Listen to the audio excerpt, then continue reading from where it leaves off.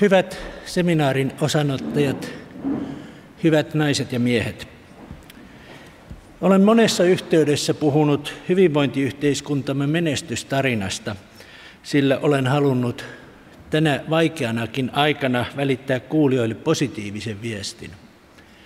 Koskaan aikaisemmin ei suomalaisten terveydentila ole ollut näin hyvä, eikä hyvinvointi monella mittarilla mitattuna näin korkealla tasolla. Suomalaisten elinikä on pidentynyt useilla vuosilla ja nämä vuodet ovat pääsääntöisesti olleet terveitä ja toimintakykyisiä.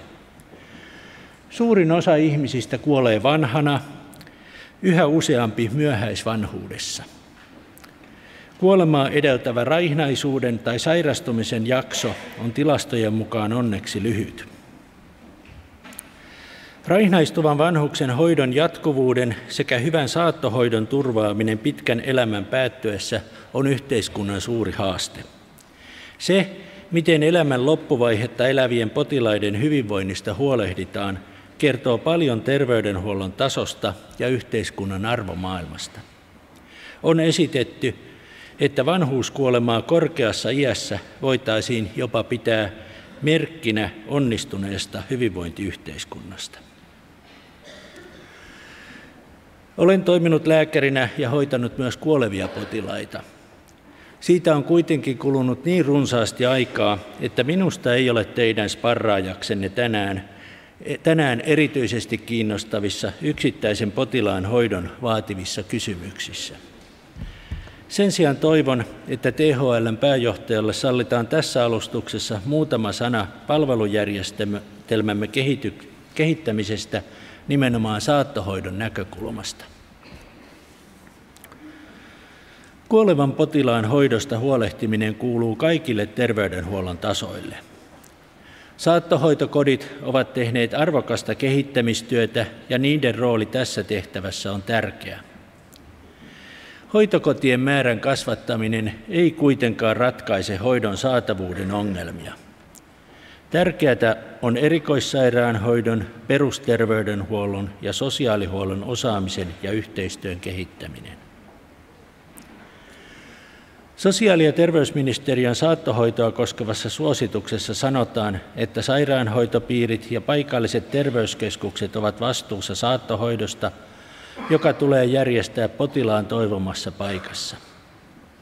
Saattohoito esitetään rakennettavaksi kolmiportaisen mallin mukaan, joka sisältää perustason hoitoyksiköt, alueelliset saattohoitoyksiköt sekä yliopisto- ja keskussairaalayksiköt ja saattokodit.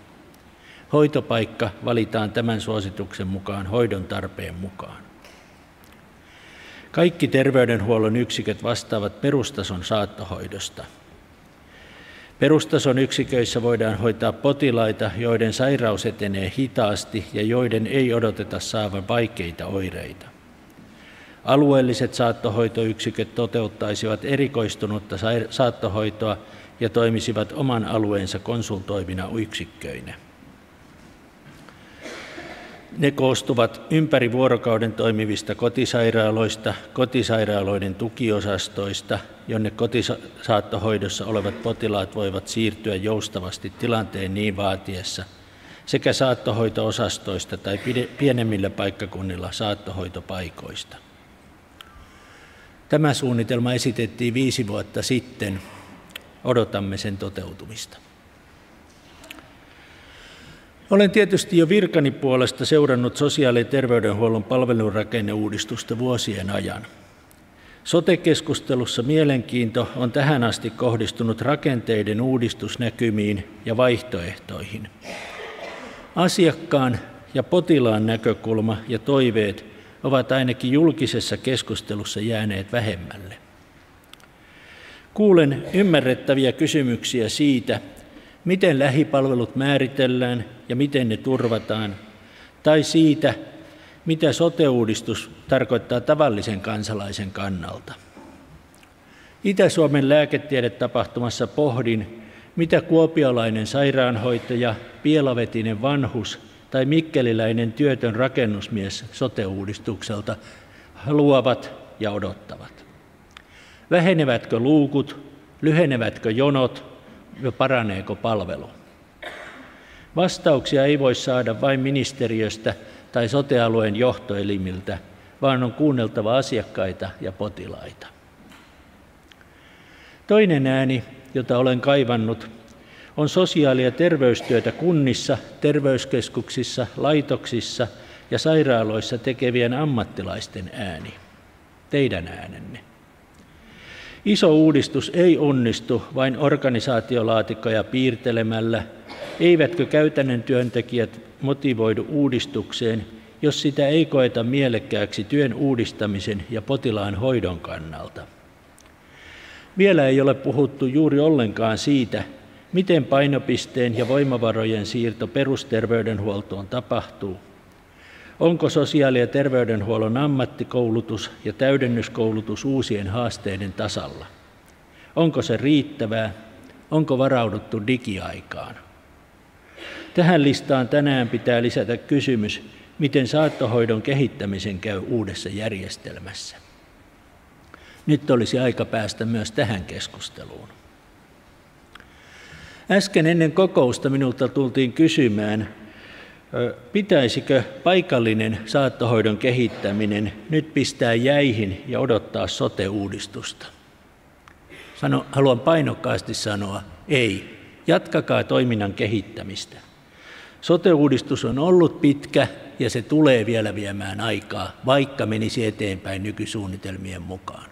Hallituksen kaavailussa sote-uudistus alkaa täydellä tehollaan toimia vasta vuonna 2019. Ja toisaalta uusi sotemaailma rakennetaan nykyisten toimintojen pohjalle. Ja toimintojen kehittämisen tulee olla jatkuvaa. Antaa siis palaa myös sote-uudistuksesta huolimatta myös saattohoidon kehittämisessä. Hyvät kuulijat, Potilaslain mukaan potilaalla on oikeus laadultaan hyvään terveyden ja sairaanhoitoon. Hoidon on tapahduttava yhteisymmärryksessä hänen kanssaan. Tämä on erityisen tärkeää kuoleman lähestyessä. Potilaan hoito on järjestettävä ja häntä on kohdeltava siten, ettei hänen ihmisarvoaan loukata ja että hänen vakaumustaan ja hänen yksityisyyttään kunnioitetaan. Potilaan äidinkieli, hänen yksilölliset tarpeensa ja kulttuurinsa on mahdollisuuksien mukaan otettava hoidossa ja kohtelussa huomioon. Palliatiivisen hoidon oikea aloittamisaika on, aloittamisajankohta on osa hyvää hoitoa. Liian myöhään tehty hoitolinjaus haittaa potilaan autonomian toteutumista, oireiden lievitystä ja hänen omaistensa mahdollisuutta valmistautua lähestyvään kuolemaan. Palliatiivisen hoidon aloittaminen on kiireellistä. Kun elämää on jäljellä vähän, kaiken toiminnan tulee tähdätä siihen, että jokainen hetki on elämisen arvoinen. Tämän päivän ensimmäinen varsinainen alustaja, ylilääkäri Juha Hänninen, on kirjoittanut viisaasti Duodeckim-lehdessä. Laadukas hoito kytkeytyy paitsi niin sanottuun lääketieteelliseen teknologiaan ja taitoon, ennen kaikkea oikea-aikaisuuteen. Kun perustaudin hillitsemiseksi ei enää ole lääketieteellisiä keinoja, tulisi tämä tunnustaa ja vaihtaa hoitolinjaa. Hoidot ja lääkitykset, jotka tuhoavat tai vaikeuttavat terveiden solujen ja elinten toimintaa, tulisi lopettaa. Kun hoito ei tehoa, pitää pikemmin keskittyä potilaan kokonaisvaltaiseen hoitoon, joka sisältää oireiden lievittämistä ja elämänlaadusta huolehtimista. Tähän katsotaan kuuluvaksi myös huolenpito omaisista ja henkilökunnasta. Potilas ei voi hyvin, jos hän kokee omaistensa kärsivän. Vaikeuksissa oleva omainen tai hoitaja ei myöskään pysty tukemaan potilasta parhaalla mahdollisella tavalla. Ja lainaus loppuu. THL haluaa tukea monipuolisesti suomalaisten hyvinvointia ja siitä huolehtimisen hyviä käytäntöjä. Tänään keskitymme elämänsä loppuvaiheessa oleviin lähimmäisiin. Toivon, että alustukset, niiden pohjalta käyty keskustelu ja samaa työtä tekevien kollegoiden tapaaminen antaa arkeenne niitä eväitä ja voimia, joilla pystyitte, kuten edellä lainaamassani tekstissä sanottiin, tukemaan potilasta parhaalla mahdollisella tavalla. Hyvää seminaaria.